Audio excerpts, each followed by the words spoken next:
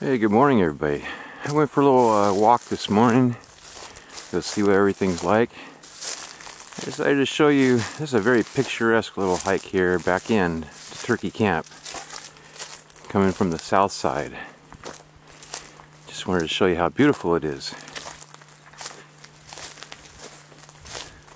And when you get here, it's like, oh wow.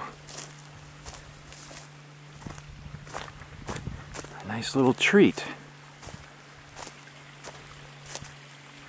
And there's the water over there. Of course, it's really hard to tell. It's just a spring, you know. But uh, maybe you can hear it. We'll go over here.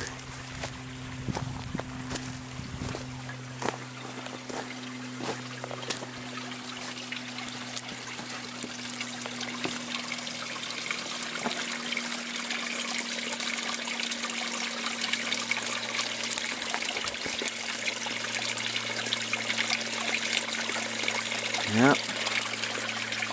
Lots of really good water here year round.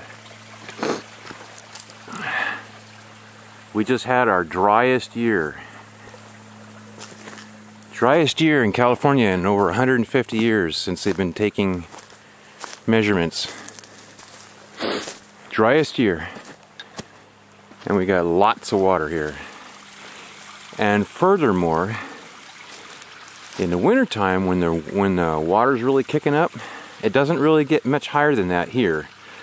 But there's lots of little creeks and rivulets around here and those are all still full with water. Those are full with water. This one here is just a fed by a spring. It's a gusher spring. Anyway that's it. I had my lentils this morning for breakfast. Oh it was so good. I can't show you well, I guess this camera's not going to automatically focus on that close. Alright, that's it.